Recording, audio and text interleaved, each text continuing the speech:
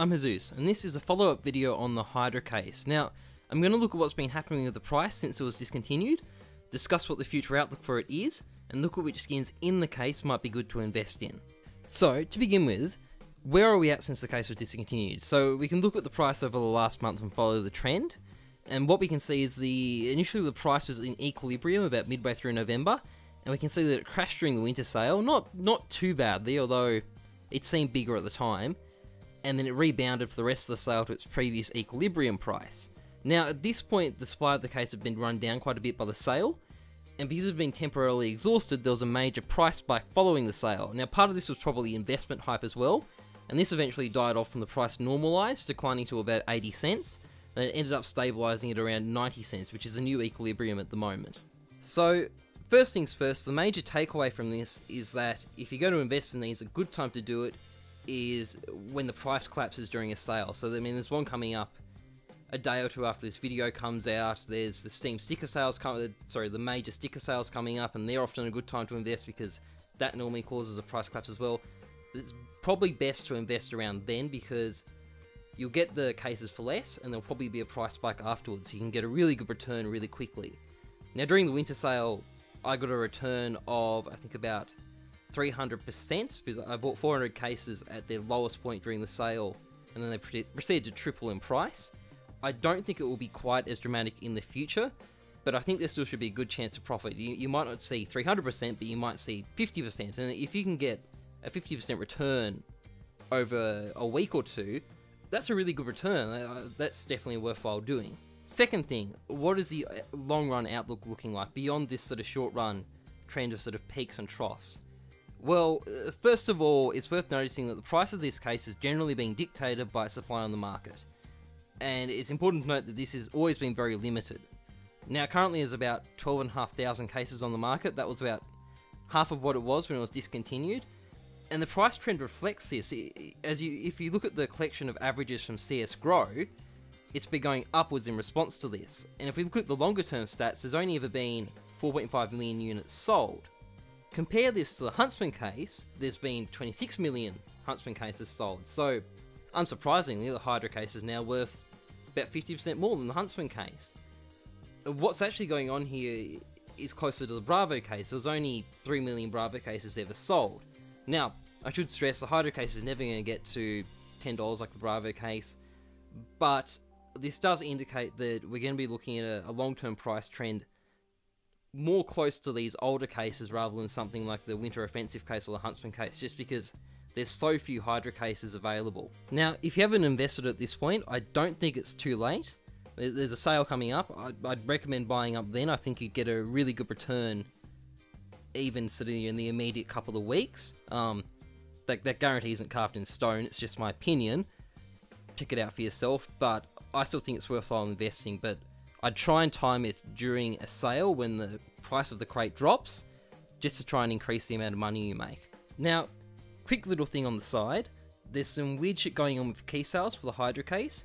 As you can see, there's more, way more Hydra keys being sold on OPSkins than any other type of skin. In fact, there's more Hydra case keys being sold than there are Hydra cases being sold on the Steam market. So, as for why this is happening, now I am just speculating here, but I think what's happened is because less Hydra cases are being opened, there's become a glut of keys on the market, and that's in turn made its price slightly cheaper than other keys. So when people go on OPSkins to buy keys for stuff like, you know, trading sites and gambling sites and stuff like that.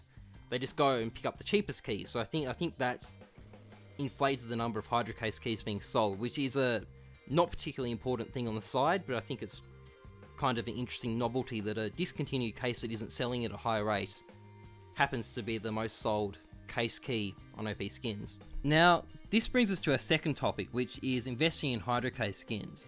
And the reason I think this is an interesting thing to look at can be seen by looking at the price trends on Bravo case skins since that case was discontinued. So if we look at the Humble UMP Bone Pile, a tenfold increase at its peak. If we look at the M4 Zirka, its price went up about six times. If we look at the, the very sexy AWP Graphite, its price increased about sixfold. And if we look at the kind of dingy but very famous and highly desired Fire Serpent, it's seen about an eightfold increase. So, how relevant is this to the Hydra case? I think it's more relevant than it seems, and I'll explain why. So, it's easy to look at the Bravo case and think, well, since that case was discontinued, there was an exponential increase in the number of people playing the game, therefore the Hydra case can't act in the same way. But here's the thing the reason the Bravo case went up in value so much isn't because there are more players, it's because the fact that there are more players meant that the number of cases became small relative to the player base. And we know the total number of Bravo cases that have been sold over the years, it's 3 million. And at the same time, we know the number of Hydra cases that have been sold, it's only 50% more, it's 4.5 million.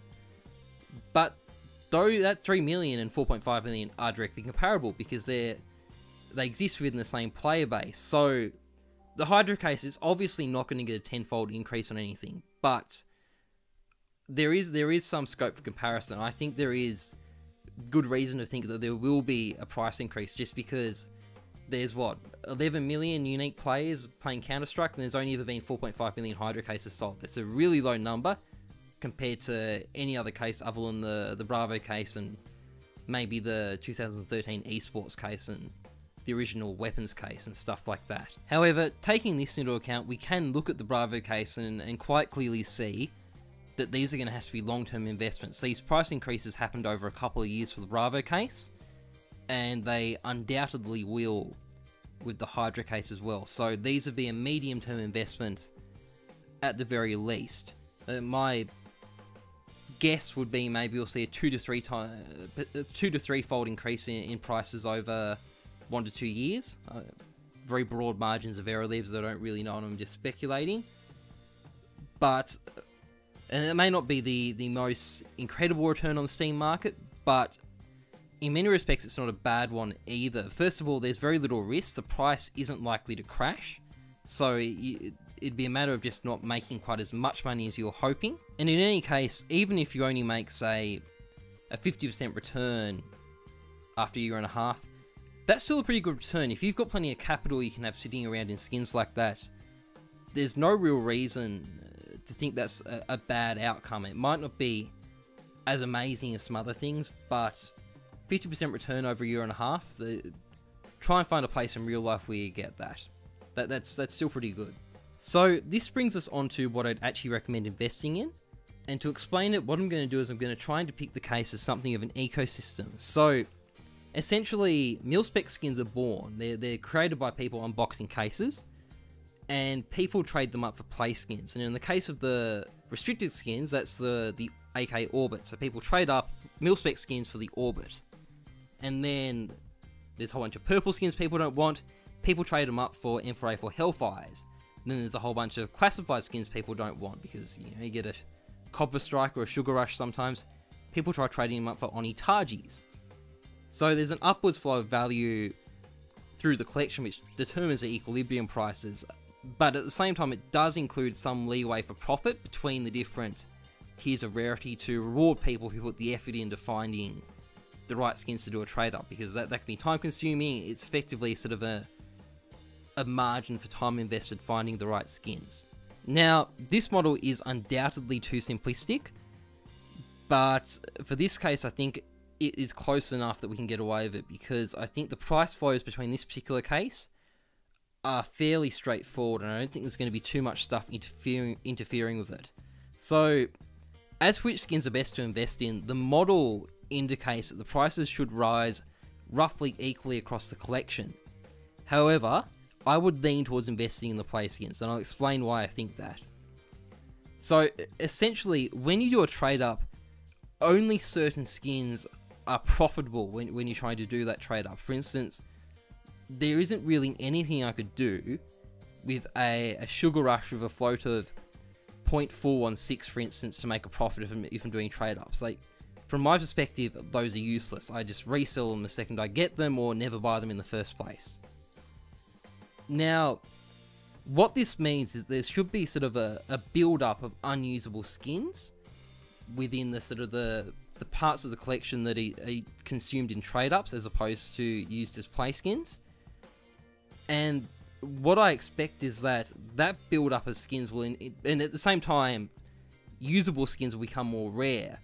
I think that combination of the skins that people want to use for trade ups becoming more rare and unusable skins becoming more common will artificially keep the the price down for skins that are used for trade ups versus skins that are used as play skins. And in turn, with that, the margin for people doing trade ups will increase because it's harder and harder to find useful skins to do trade ups, and that increased margin will reflect the increase in price of the play skins. So that's basically why I'd recommend going for play skins. I think they will rise more in the future than skins that are primarily used for trade ups. So, as for the skins that I'm specifically recommending, first of all, I'd recommend the AK Orbit. I think this will continue to grow in price. It's a very desirable AK, it's got a strong price already for a purple skin. I think the demand for it will stay good, I think it's a good investment. Secondly, there is the M4A4 Hellfire. Now, I wouldn't recommend doing anything more than a medium term investment with this because there's a lot of talk about the M4A1S being buffed in the future, and that might negatively affect the price of the Hellfire. So, I'm not saying don't invest in it, but be more careful with it. And for what it's worth, I am keeping a few of them on hand, but I wouldn't look at keeping them for the long haul. They may they may go out of fashion a little bit. And finally, we have the Oni Taiji, and it's obviously a grand investment because the Chinese are going to love it. They're going to buy heaps. Price is going through the roof. It's going to be. I'm, I'm kidding. No, who, people who tell you that this skin is going to go well because the Chinese don't know what they're talking about. Nonetheless, though, I think it is still a good skin to invest in. It is commands a good price already. It's very good looking. I think it's going to keep going up.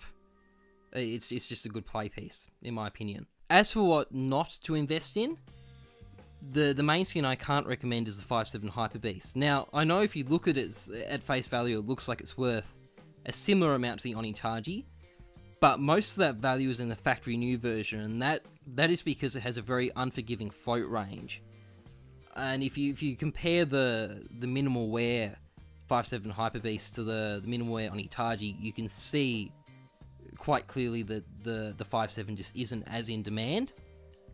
And the other the other thing is it's basically junk from failed Oni Taiji trade ups, the minimal wear 5.7. So if you are if you are still going to invest in it, make sure you go for the factory new because they're quite hard to get.